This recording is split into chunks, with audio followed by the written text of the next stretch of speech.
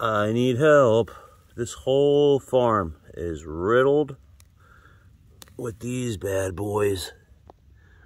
So if anybody out there has a damn clue as to what kind of, I mean, incredibly gorgeous fungi these are, please tell me because I don't care if they're ma magic mushrooms. Look at them all. I don't care if they're non-edible poisonous kill you in four second fucking mushrooms. I don't care if they're fry them up with some chanterelle mushrooms. I just need to know.